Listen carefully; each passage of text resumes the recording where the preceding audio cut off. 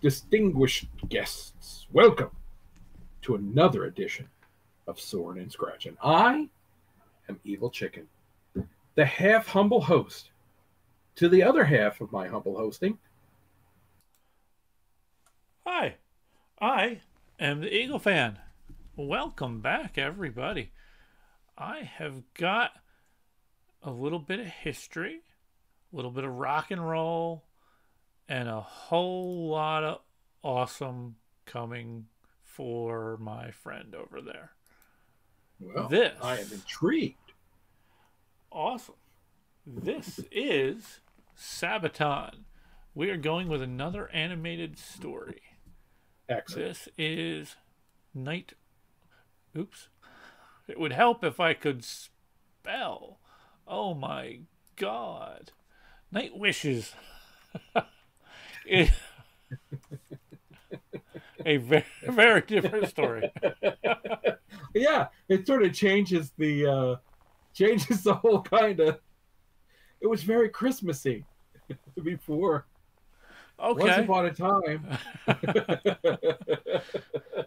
This, this shows you where my mind is. I was thinking 70s porn. It works too. Wow. Okay. I think Bob Seger sang that, didn't he? Uh, night moves, close enough.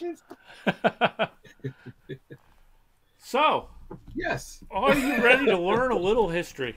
I need all the help I can get. So yes, that's one of the things that I've really come to love from this particular band. Um, they uh, they are historians, um, and and the stories they tell are it's all real. It's all based in fact. Ah, This band and some other videos that I've seen yes. make me wonder why history class isn't different. Because if I saw these things in, in history class, I would have Yeah. learned stuff a lot more. You know, um, you bring up an interesting point, a very interesting point. I think they just, I think, how did he put it? Uh, George Carlin, I think he said he, he wants, it wasn't him, he said, uh, they want us, they being those in power, to be able to uh, just uh, be smart enough to put the square pegs into the square holes and, and not to question anything. So I think it's important to uh, learn from history and to uh, question everything. So I'm very curious as to what this is. Okay. There we are. Are you ready for some Sabaton history? I am ready for some history. Okay. Thank you. May I have another? Here we go. This is also done by what was it called? Yarn, What? bar, yarn, bar. I, I forget what it was called. It's the same same company that did the other uh, video that we saw. Oh, excellent, excellent. That was wow. Yeah. Here we go. The Germans are resting behind the lines of the Eastern Front, their tents in neat rows. All is in order in the quiet and still of the night. It's cold, and the winter snow crunches under the jackboot of a guard. Looking up into the sky, the snow starts to drift down. It's peaceful here. Was that a noise from the sky? No, it's just the wind. Suddenly, piercing the still of the night, there's an otherworldly scream and a whoosh as a dark form speeds by. And was that a woman's laughter in the distance? There are no engine sounds, and the suddenly fearful German soldier loses his footing and whispers under his breath, Die Nachthexen. The world is all at once a bloom of fire and ash, and two more dark forms pass without a sound. Hearing the whooping and celebration of these supernatural creatures, the guard shakes himself from his fear and calls out, Die Nachthexen! Die Nachthexen! The Night Witches! In the sky above, three planes of the soon-to-be famous 588th Night Bomber Regiment, their engines now running, turn east for home. Time to rearm and refuel for another mission. Coming into land, they're greeted by their commissar, Yevdokia Rashkevich. The young girls that form the pilots and navigators are between the ages of 17 and 26. They are desperate to take the fight to the Germans and have traveled from all over Russia to join the all-women regiments. The 588th is where the least skilled of all the women are placed, but that didn't stop them from carving their name in history.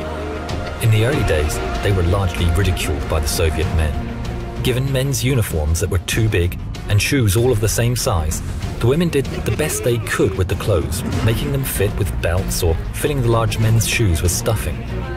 The equipment they were given was woefully out of date. The Polikarpov PO2 was a two-man trainer, underpowered and made of cloth and wood. These old string bags were nicknamed crop dusters, or even worse, sewing machines due to the noise their tiny engines made. But the women of the 588 ignored the taunts, and despite the odds, turned the plane's shortcomings to their advantage. The planes at maximum speeds were far below the stall speeds of any of the German fighters. Giving them a tight turning circle, they were almost impossible to hit. They were susceptible to small arms fire and anti-aircraft guns, so their strategy was to attack in threes, with a navigator in each plane. At her signal, the pilot would cut the engines and swoop in slowly, silently, dropping their bombs, dealing death from above. Unexpected, undetected, stealth perfected.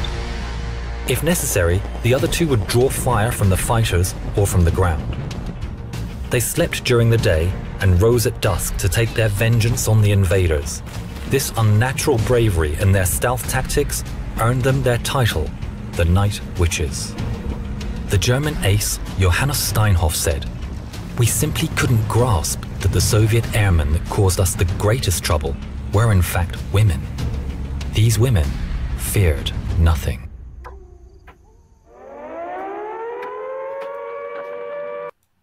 Okay. Oh, Yarnhub. Before Gotcha. we get too much farther, early thoughts on this. remarkable. Um, absolutely remarkable. Um, I'm I'm such an ignorant man, um, and uh, I, I find this fascinating because there's there's much to learn. I assume this is um, World War II because uh, Yeah, uh, yeah. the Germans have invaded uh, Stalinist Russia, and Stalinist Russia was no easy place to be. um, horrible, horrible um, living conditions. Um, it's it's it's it's it's amazing. A lot of these women, they probably found it easier to serve on the front lines than to live in wherever they were from. Um, starvation was a huge thing in Stalinist Russia. So it was um, just an insane political ideology. Um, and I'm not just, I'm not saying, I'm not talking communism. I'm talking about Stalin was dangerous. he was a dangerous man. Yeah. And, uh, and uh, so you have two for lack of a better word, madmen. You got Adolf Hitler and you got Stalin, Joseph Stalin, and uh, two dictators that are going against each other. Just unbelievable. It's such a strange time in history. But Yeah, Yeah, horrible, I- I horrible time. oh my God, horrible. Absolutely. But uh, so, yeah, I would imagine that the Night Witches were happy to be putting their lives on the line, if you will. Um, I, I God bless 'em. like these stories because I get to learn so much that I didn't know Yeah. before. likewise, likewise. Holy cow, And if history class could be like this, Dave! Exactly. I, I, you know, I mean, I don't know. It would be nice if they taught critical thinking, and and and, Oh, and part of that- that was part of living history like this. yeah, You know, it, it's uh, definitely, and then you know, you know, seal the deal with an excellent Sabaton song. yeah. Speaking of, are you ready Yes. for that? Bring it.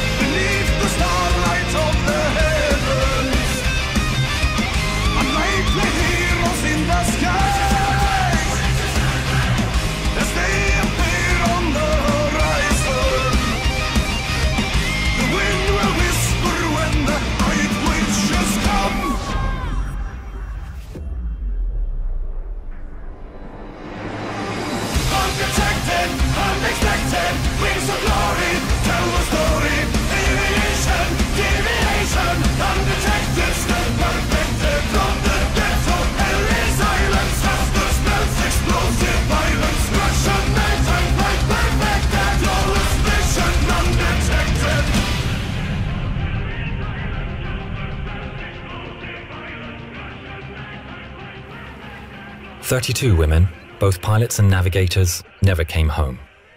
The 588th became highly decorated and respected, flying more than 23,000 sorties, dropping over 3,000 tons of bombs. 23 night witches were awarded the Hero of the Soviet Union, although they were disbanded just six months after the war and not allowed to fly in the victory parade, given their planes were so slow. From 1956, after she retired from active service, their commissar Yevdokia Rashkevich took it upon herself to find the site of every single one of her girls that was downed, to mark the place and to pay her respects to each one of the incredibly brave night witches.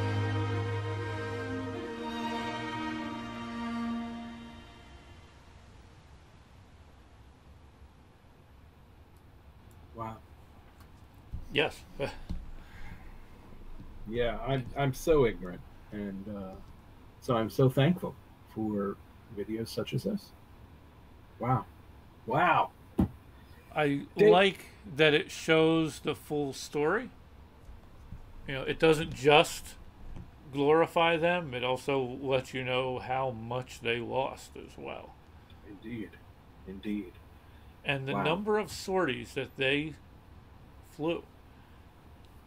Much unlike, or actually quite a bit unlike a lot of other bombing runs that you have that took place during the daytime with the male pilots where they would prepare, they would get ready, they would go on their run, they would come back, and they're done. Yeah, These ladies would go out, do the run, come back, fill back up, and go back out again. And keep doing that all night. Absolutely remarkable. The Night Witches. Wow. I love the idea that they cut the engines and they glided in. You know, that's just remarkable to me. Now, And, uh, I don't know if you caught it or not, but early on in the video, Yeah. what I thought was kind of cool, as it's showing like the planes going by and you just kind of see the silhouettes, Yeah, they sneak a few silhouettes actually look like witches on brooms going by. yeah, I did see that. Okay. I did see that. I thought that was brilliant. Absolutely brilliant. Um, yeah, phenomenal. Just an, an amazing. Uh, I'm, I'm thankful to uh, to to know about it now. I mean, um, just so many holes in my education. It's amazing. Oof. Yeah, if if more classes could have been like this, I would have been valedictorian. Hey, there you go. Just make it interesting to learn. Yeah, Yeah. it's um Now, obviously, there's some classes and, and subjects that you're not gonna, you know, you're not gonna make calculus overly interesting.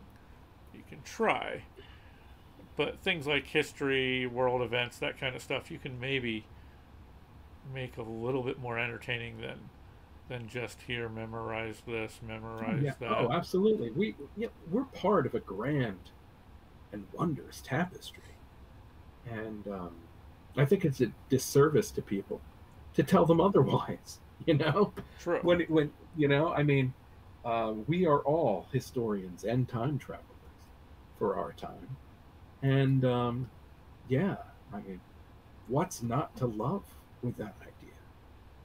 I mean, Yeah. really. I mean, Now, this actually, this discussion gives me an idea. If you're up to another video tonight, oh my. And everyone out there will have to wait and see what that is. Teaser. Well, well, goodness. Drop the teaser in there. I think I'll have to Anyway. raise a pinky to that. Thank you guys out there for joining us. Let, let us know your thoughts down below. What other suggestions do you have? We appreciate all your suggestions, all your feedback. And a like, comment, and subscribe, and click on that little bell over there.